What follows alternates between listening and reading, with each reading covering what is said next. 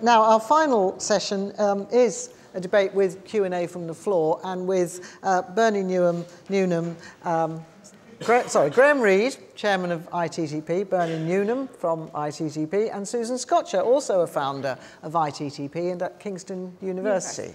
um, and um, we felt that um, a lot of issues have been raised and it's important that people can ask the ITTP what they're doing about it and also add to the list you know, of things that uh, need to change. So has anyone got uh, any question that they'd like to ask the ITTP? Oh, yes, right. Um, gentleman there, yes. Don't make it too difficult. Okay. Uh, sorry, following on from our... Oh, Can you say who you are? Sorry. Stephen Rapashali, Transparent Zebra, former teacher, uh, teacher of Ohm's Law, by the way, is to do with voltage, current, and resistance. Oh, um, um, it, it, seems to me, we were just talking about the, um, in Malcolm Gleick's book, uh, Outliers, or is it Blink, they talk about 10,000 hours to become good at anything. It just seems to me that nobody's going to get um, an expert at anything after a three-year course if you need to do it in 10 years worth of learning. So if, um, uh, isn't it, you know, how do we train at university, then what do we need to do afterwards? And, uh, you know, what sort of progression is that? Is that maybe what the challenge is for you guys? You want me to answer that? well, well, well, I'll go first. Um, well, this is the whole issue with the industry, isn't it, really? I mean, how, I mean, in my own example, I was a, a camera trainee at the BBC, and I, and I always say it took me a good three years of four days a week of throwing a ped about the studio before I really became any good at, at ped operation, at three years, four days a week. Now, the, the issue we have with industry now, of course, is that opportunity, as we heard this morning from Chris Miller, for example, that opportunity doesn't exist now. And I think the same for whether you're going to be a lighting director, a sound supervisor, a floor manager, a makeup artist, whatever, or a PA. And this is the issue which we really have to sort of nail down somehow, is how, where will the next PA comes from? Where will the next Fisher Boom operator come from? Because you know, it takes a long time to, to operate a Fisher boom, for example. And I did it in my sound train when I was at BBC as a trainee. I did a boom on The Likely Lads, which some of you may remember that programme. And, I, and it really brought home to me how very, very hard that particular skill is. Now, who are training the next lot of Fisher boom operators? And it takes a long time to become really good at operating a Fisher boom. And yet lots of programs do have them, like Mrs. Brown's Boys, for example, has three booms, I believe, on that show. So who are we going to train the next set of, of, of Fisher boom operators? Who's going to train the next set of PAs who can bark out shot call timings all at the same time under a really stressful live um, situation? And that is our concern. Now, and, I, and, I, and, I, and the issue is, I, think, there isn't an answer. Unless industry like Sky or BBC or Channel 4 or whatever really invests time and money in training Fisher boom operators, PAs, lighting directors, in a few years' time when people like us, not Susan, she's too young, but people like us know, eventually say, I'm, I'm, I'm going to sit in a bar in, in Devon for the rest of my life, you know, where is that going to come from? And who's going to replace us and Fisher Boom operators when they all retire? And the, the problem is, I don't think there's an answer. Because people do need a long time to develop and hone their skills as a PA, a vision mixer, a Fisher Boom operator, a PED operator. And if, if we had the answer, we would say, this is what you need to do, do this. But we don't. We just, we, we're just trying to as an organisation, really flag up the, the major issue there is down the road when people like us, oldies, retire, and, and, and Barry, who, who could do you know, Fisher Boom, you know, very easily, in and out, wide shot, in for the close up, for the wide shot, in for tight sound, all that sort of amazing stuff that Fisher Boom operators do, or PAs who, go, who count 10 things all at the same time. So the answer is to, I mean, I, I don't know. Maybe you can carry on, Bert. I don't know either. and, but, but we need to wake up as, as an industry that there is this problem. I think you might find that there are some people in the audience that actually don't know what a Fisher boom is. Well, then you can tell and, and if that's the problem, can you imagine the trouble a student who thinks, what is my career going to be? They wouldn't know that that actually was a career opportunity. Mm -hmm. So this is where a wider range of skills will give the, the opportunity to and like learn. PAs, indeed. I mean, I mean, I don't know how many students think, I really want to be a PA when I leave university, or even know what a PA's job actually is. Yes, absolutely. You know, and, and I think that is part of the problem. You know, we, people don't know what PA operator, a PA actually does, especially mm. in things like Come Dancing or X Factor, or in my case last month, though, um, um, Miss World. And, and, and industry really needs to wake up to this. And I, and I know a lot of you here are, in, are university people, and I don't necessarily think it's a university's problem. It's an industry problem who should be investing in you to train boom operators, PAs, mm -hmm. ped operators, and give them the time to spend three years kicking the ped out of the studio. Mm -hmm. You know, and so they, when they do a live TV show, they feel confident that they can do a ped. I mean, keep moving a ped is actually quite easy. It's, it's up, down, left, and right. You know, that's all there is to it, really. But if you try and do it on, on a come dancing or X Factor, it's really hard job because it's that pressure of operating a ped crab left, crab right, up a little bit, you know, on, on a live show. And that is where it becomes really, really hard. And, and you'll sweat, you've got pulp, your you know, your heart's going, you know, and, and, and we need to give people that experience and that time to, to, to nurture. I, I find us as ITTP, here we are, Graham's a cameraman, I'm a retired producer, Susan lectures at a university, blah, blah. I find us creeping on into the world of politics, uh, talking to various people today, the, the Scottish guys, the Glasgow University chaps doing AES, talking about a particular way of working with the local industry and the local government to twist the understanding of government from giving money over here for this, which is the wrong thing, to putting money over here for this, which is the right thing. And someone else earlier was talking about the, the levy, the industry levy in the film industry, where I don't know who does it, but someone has to put a load of money into all those trainees you see on the 53 minutes worth of credits at the end of a film. It's time the broadcast industry woke up and did that because otherwise when we fall off the perch it isn't going to work. Um, I don't think they have yet and I think it may be that if you don't shout enough, nothing happens really. And we haven't shouted at all yet. I don't think anyone shouted. I think it may be, you know, that we're going to turn into the people who shout in the next while. Well, some people would say that the BBC has a responsibility as I a public broadcaster funded by us all. Well, absolutely. I, I, I do not understand. There's no one here from BBC training, I assume, because it doesn't really exist anymore. And, Rob, and sorry? Yes. Yes, well, yeah, we were, we were all there. Yes, speak, madam. And, and so the BBC are actually coming to Elstree next week about their apprenticeship program. Yeah. Uh, they, the, the, they, um, they seem to be wanting to the thing is about the BBC training, it used to be that the BBC training industry, as Ros says, we pay the license fee, mm. and part of the license fee was put into paying, uh, put it, it was in the BBC's charter at one point, I don't know if it still is, it says you will train the industry effectively. Mm. It didn't matter that they went, went off to ITV or anywhere else, you trained them. So we all got trained by the BBC, you know, largely most of us stayed, but other people went off here and there. And it, it's a you know, it's the British Broadcasting Corporation. It ought to be doing its job, and it's not. The, the BBC does still have training. They are paid for courses that yeah. you would go on. Mm. They're not part of your job. No, it's not part of yes. training. And in fact, you know, BBC Evesham, there's some great pictures on the internet of BBC Evesham where we went to train covered in old ivy and weeds and things like that because nobody's doing it anymore. It does take on apprentices, you know, a very small number. But what it's doing is, is reacting to a requirement, their own personal requirement. We need six engineers in CAR next year. Therefore, we'll have six apprentices. It's not taking on the, the role it used to have, which was there's an industry here and it needs training and we're the British Broadcasting Corporation, which it used to have. And, and that's why something like what we're trying to do is hopefully going to maybe bridge that gap a little bit. The idea of the ITTP approved seals, just as your first question said, is that what is the standard that people are actually looking for? And we heard this from this morning, that all the people in industry said, yeah, it'd be great to know, it'd be great to have a technical person. You know, when we employ them, we want them to be that standard. We want to know that they can actually throw that ped around to that level and know how to stand and behave in a studio or in an outside broadcast environment.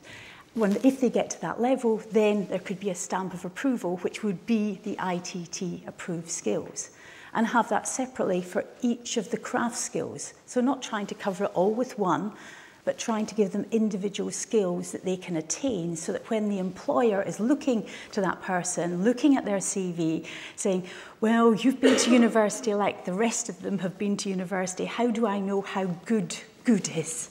You know, I'm good with a camera, what exactly that means. So hopefully by creating something with the ITTP approved skills, we will create a level, just as the BBC created a level. We knew when you came out of Evesham, I came out of Evesham, BBC broadcast engineer, I was an operator, I was a, yeah, I was a technical operator, so again, I had to do vision mixing to a certain certain standard. I did sound mixing to a certain standard.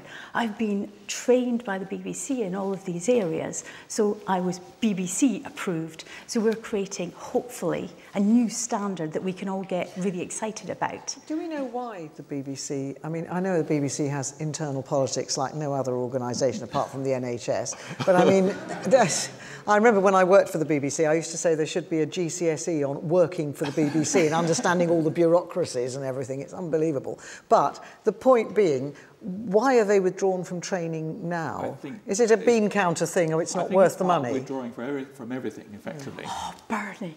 they have, they have, they have withdrawn. There are no camera crews, there is no OB trucks, there's no, I think there's still sound OBs. There's so little of the BBC massive technical infrastructure left now. Yeah. Um, and I think it's all part of the same thing. I don't know. I, if I knew what it was, I could probably write an article in the Times about it and say, this is what it is, but I don't, and I don't think anyone else does either. So isn't one of the things that the ITTP ought to be moving on from, given all the points that have been made here, um, you know, and I know you've been, been lobbying as well, but you really got to lobby the politicians to understand exactly, that yes, if this indus- these creative yeah. industries are worth more yes. than 70 billion pounds yes, a year, they're not going to go on being. Yes, I think that's exactly that. We will turn after this one as people talk to us, and have they been talking to us today, I think we're about to become politicians, amongst other things. Well, I oh, didn't we, we start out this actually, morning thinking that. We have actually spoken to the Minister of Skills oh, that's right, have, in yeah. universities, yeah, yeah, and, and they were very supportive. You know, it's great to know they're supportive. And Prince Charles too. But they are politicians, so they're going to be supportive. But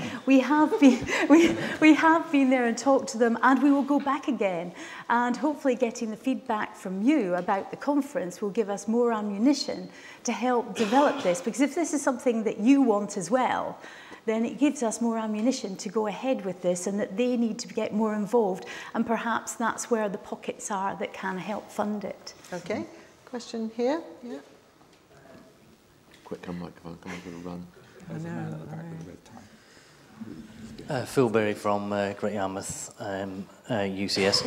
Um, Again, you're saying about these standards um, uh, and your ITTP standards that you're going to put across, but you've got um, different levels of um, uh, degrees. You've got the foundation degree, which is a two-year, and a practical-based course, uh, realistically designed to bridge that gap between the industries and academics.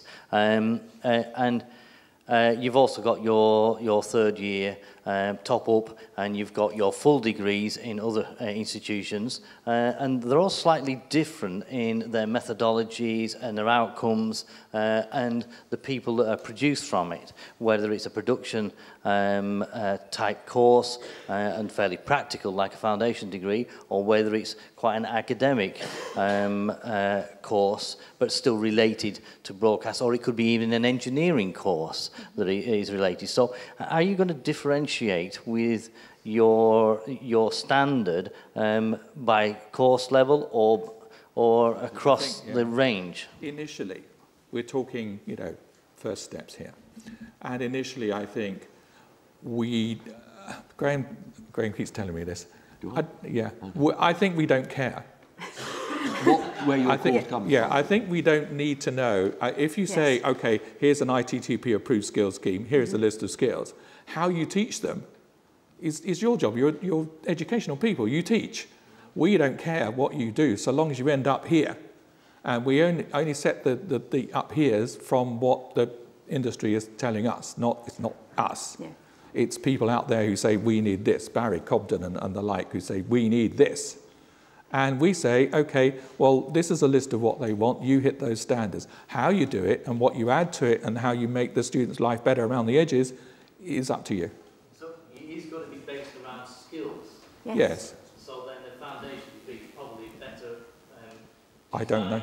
Well, it, it, it, uh, uh, can I, yeah. yeah. I think this could be embedded in any course. Yeah. So yes, you, you will have a perfect uh, platform to embed these skills, but in the same way a university could course could choose to embed these skills, whether they do it in their practical sessions, or they do it in first year, second year, third year. It's about achieving the level of skills in the course, not when or where they do it. But universities and colleges have a big interest in get their students getting jobs. Yeah, yeah. So that's really important, isn't it? Yeah. Sorry, who's got the microphone? Yeah, if it, yeah, if right. Um, I have Darren Long and um, what's his name from BT Sport? Andy, Andy Beale. Beale saying these are the list of skills that ITTP think are right and they know because of this.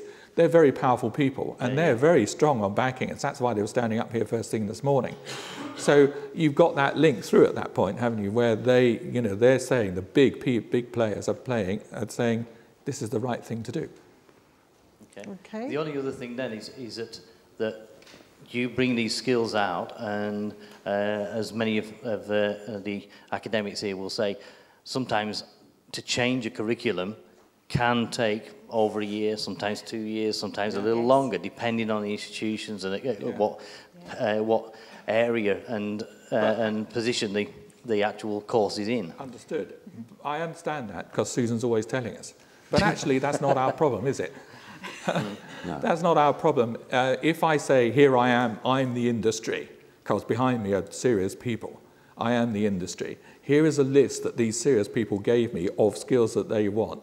How you do it and your problems in delivering is your problem, not the industry's. So when did the industry want this? They want it yesterday. Okay. Right. I thought that would be the answer. yes. okay. Um, yes, here. Thank you. And uh, if you could give the mic to the, the gentleman at the back next after okay. this. Uh, Phil Middleham, Stratford College again. Um, we have those qualifications now. Actually, teach on the qualification, it's level five qualification.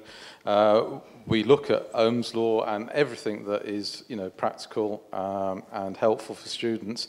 Terminology, our vocabulary that we so glibly use and, and forget that people don't understand what we're saying. I've learnt one today that I didn't even know. Um, so that's going to be quite useful to take back. Uh, but, you know, it absolutely exists. The thing is, getting the right people to actually bring that knowledge to the table and teach the students. That's the existing problem that I have as I sit here now. And I almost couldn't come today because we were so short of staff that actually could cover for what I normally teach. That is a serious problem in this country. Mm. And may not be just because, you know, there's a, a shortage of people to do it, because there, there isn't. It's just that they need a certain level of academic qualification. Yes, I think you, you mentioned that earlier in the. But in it's the fundamental. No, no, no. I, I'm happy to talk to it as, a, as I've got a few ideas for you. Uh, and You're going to come and teach. there's there's a couple of, couple of ways that you can do it. Obviously, as you quite rightly said, even in higher education, more and more institutions are looking for some level of qualification, which would normally be a PGCE or either a member of the Higher Education Institute HEA which would normally follow your postgraduate certificate in education. So a postgraduate PGCE would normally take a year, which could be done while you are teaching. Um, isn't there a point that I seem to remember reading that if you're really old, you, when you've got a if you've got a degree before a certain time, you don't have to have a PG. It is about the ab, it's about the higher education institution. Uh, it is to, down to, to actually teach. No, to your vice chancellor. Yes. It's simple, the Board of Governors... But is it different for universities? This is a university, yes, yes. so it's higher education. Because there used to be a thing, rather like, well, you know, my, my father never had a proper driving licence. I mean, you know, because yes, yes. they didn't have them and all that sort of thing. But it used to be a thing that if you yes. got a degree before a certain date, you could actually teach in a school without a, a PGCE. There's an awful, you know. a PGC. PGC, uh, yeah. yeah. There's an awful lot of universities that are very, very happy for people to teach without postgraduate certificate in education, but more of them are, being, are looking at their figures and they have to put up their statistics on the website and that says, oh, do you have all qualified staff?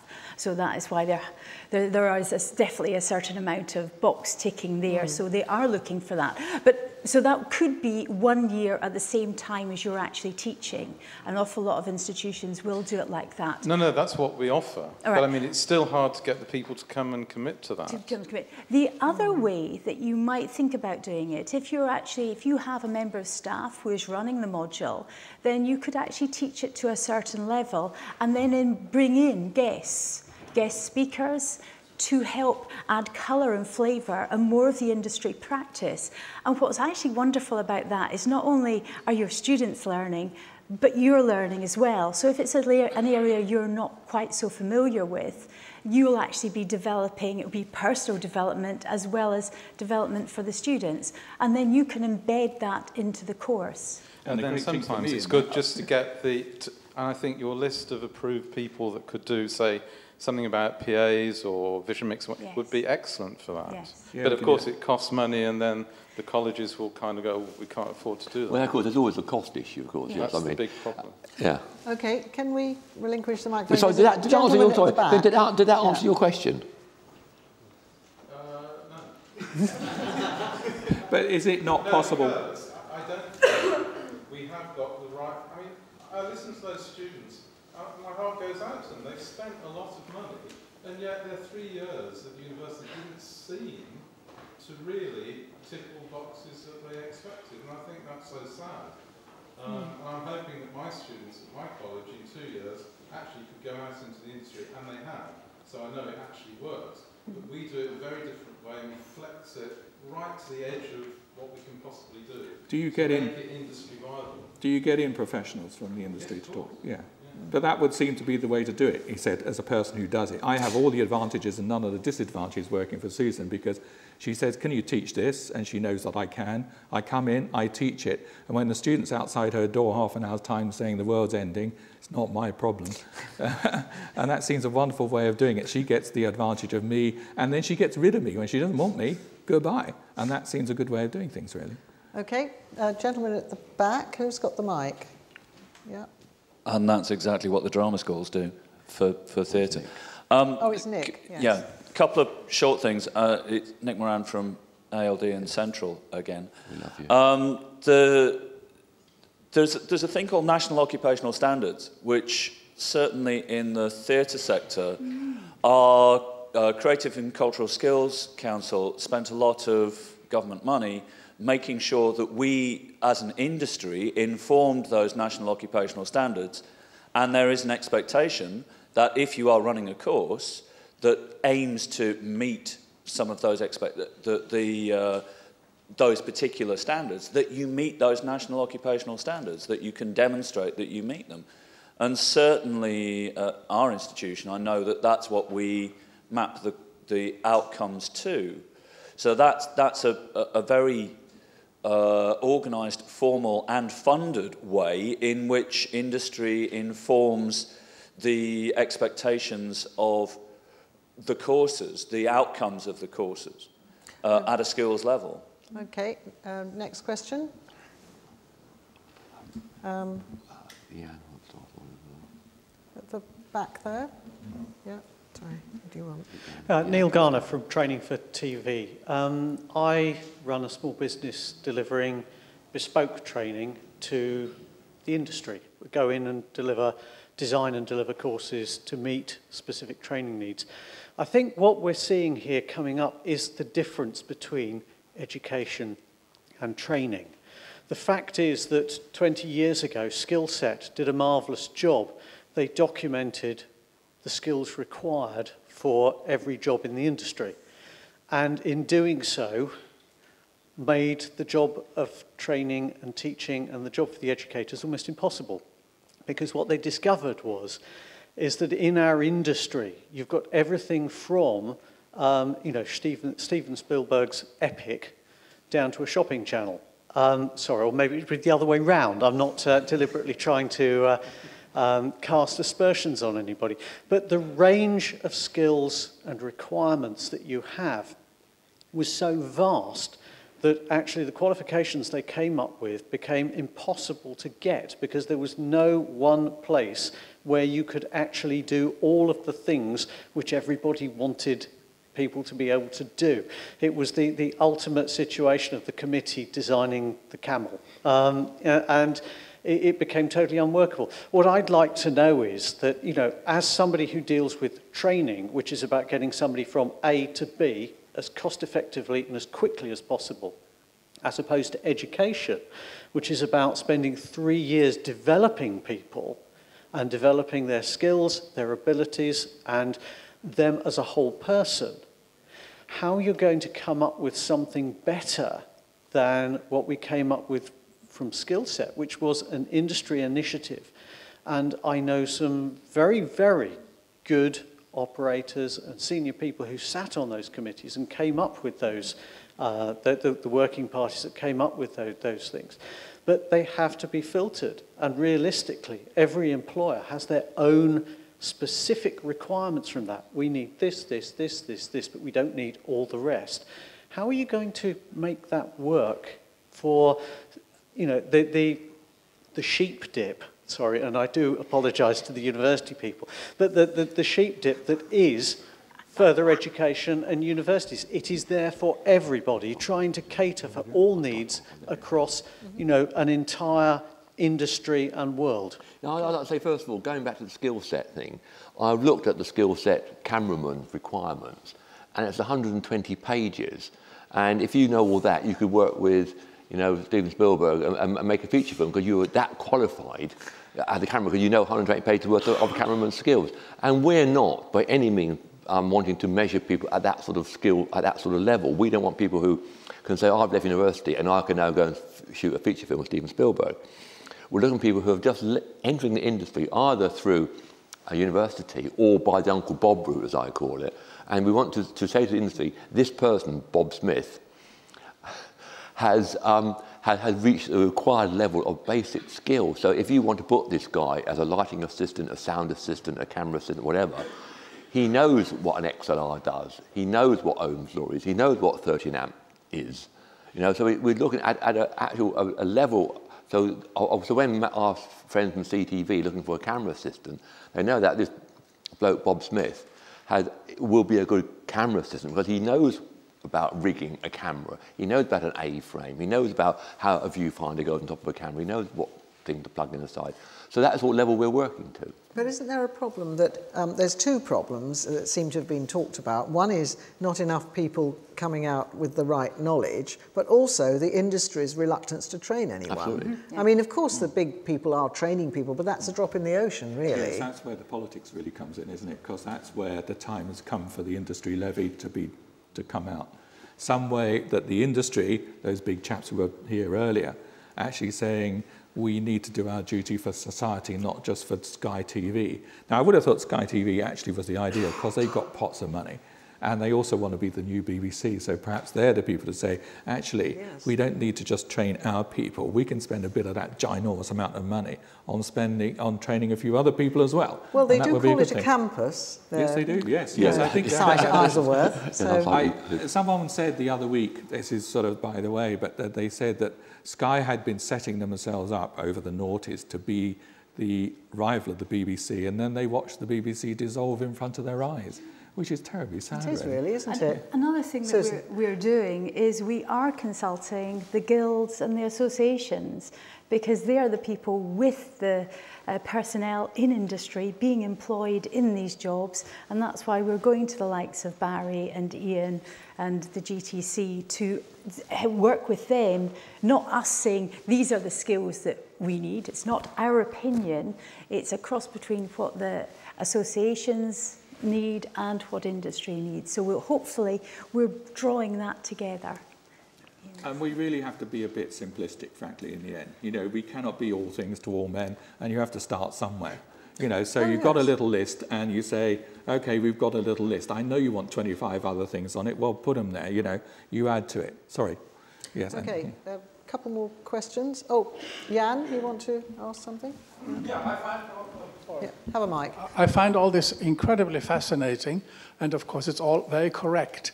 One key element in training, which is missing here, which I find missing in almost all the film schools I have been teaching, and that is music.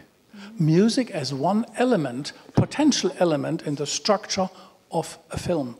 Uh, also, music as a scripting tool, which is very, very important. And since it's a rights issue, having a great soundtrack on a budget, mm -hmm. uh, yeah, which is cheap uh, and and fantastic. And I think this is something that almost in all film schools, it's just ignored. It's, it's not really taught.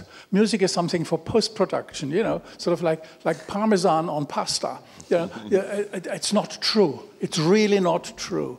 And I, I was surprised that it hasn't been mentioned here either. That is part of a very simple training. It's not brain surgery to get across to a student what he is potentially lacking in his toolbox. I, I, I really absolutely, absolutely. And this is why I asked you to come today with one of the other, because it's the art bit which I think gets lost in the education world. And I was, when, when I was a lecturer at Ravensbourne, we did a music exercise, I had 12 students.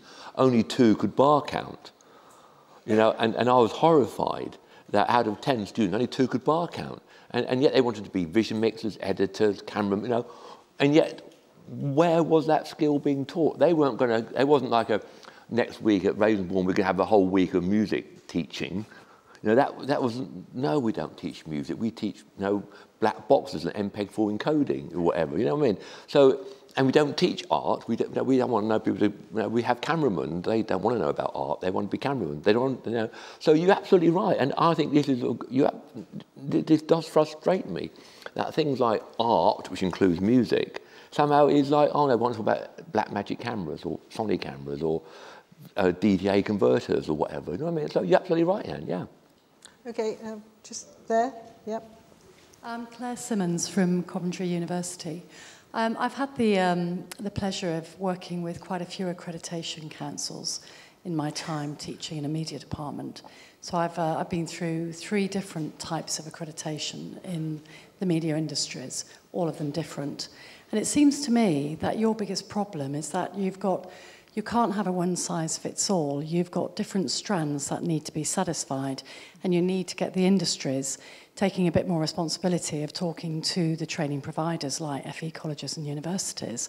And one of the suggestions I would offer, um, which I think could work, um, is instead of trying to, to be everything to, to everybody in one institution, what you can do is offer an ITTP certificate um, and you, you would need to have a selection of guidelines depending on what it is that you need. So you'd have your cameramen, You'd have your sparkers, you'd have your sound people.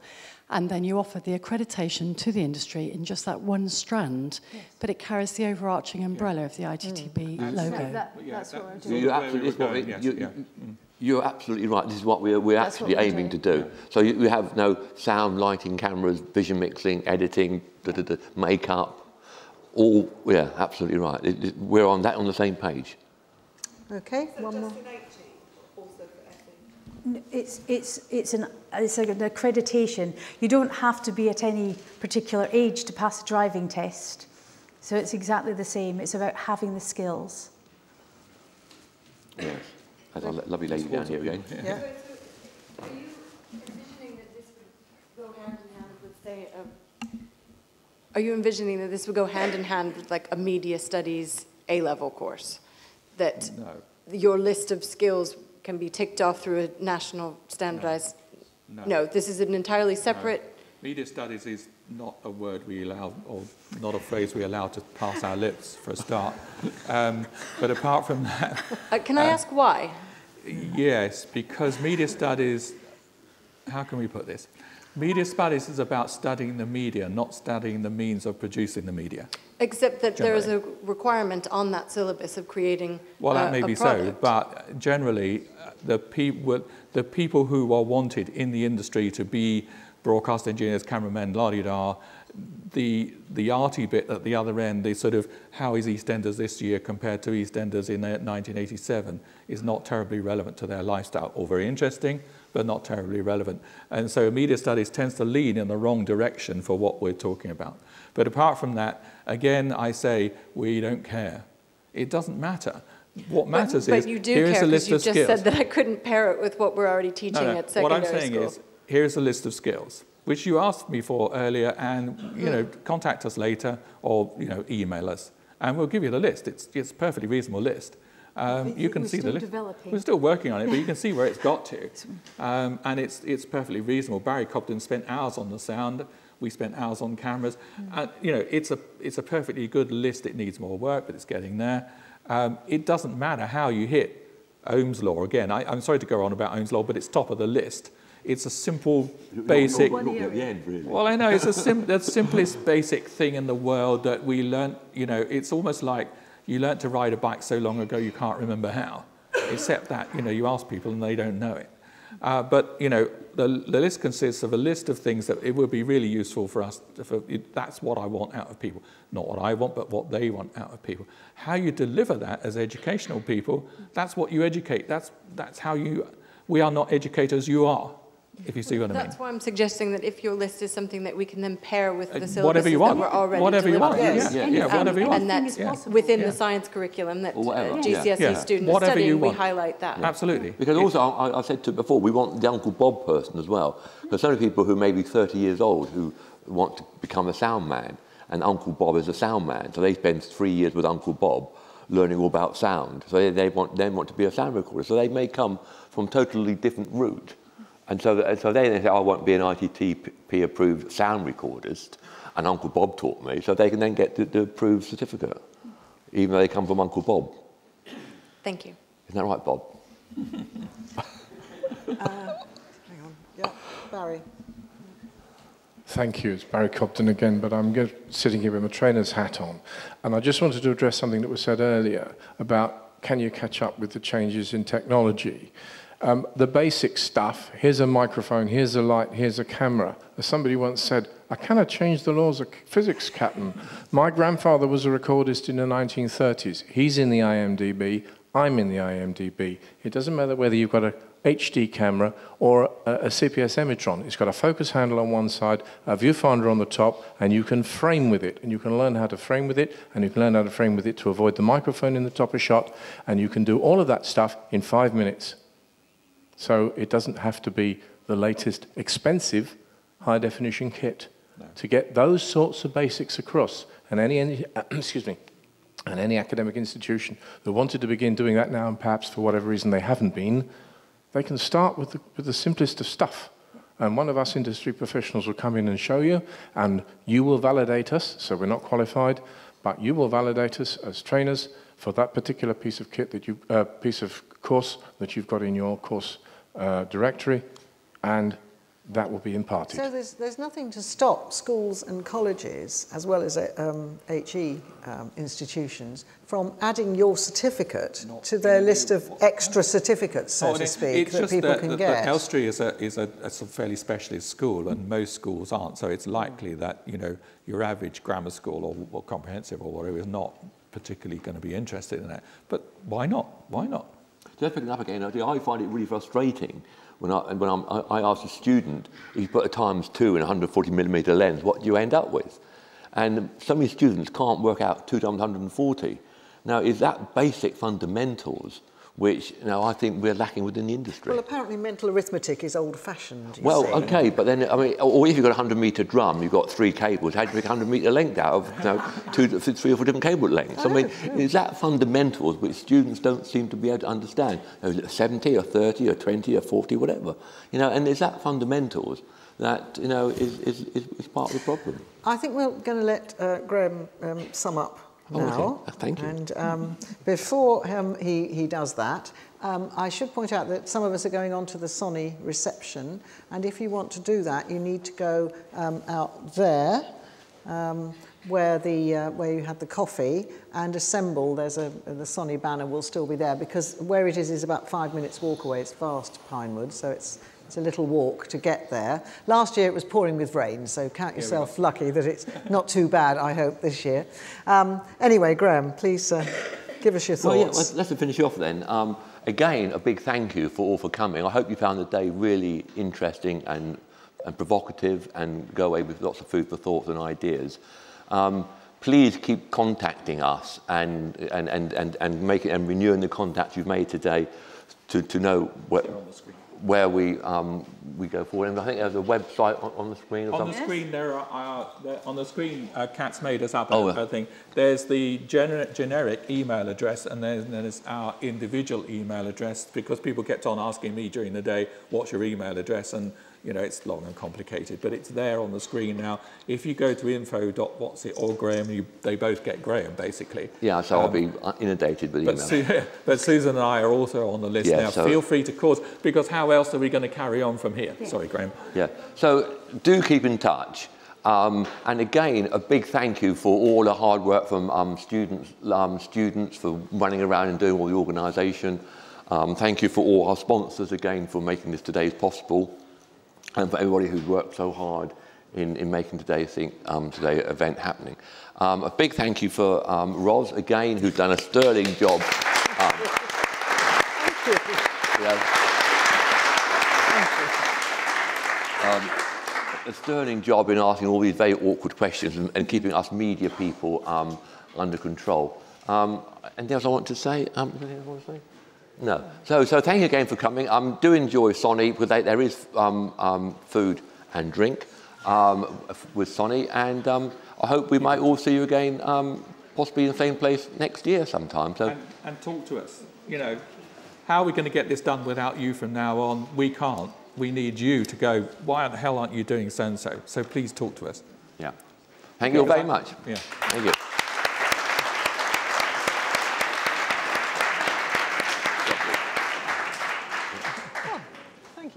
Thank you, Thank you very much indeed. Excellent job.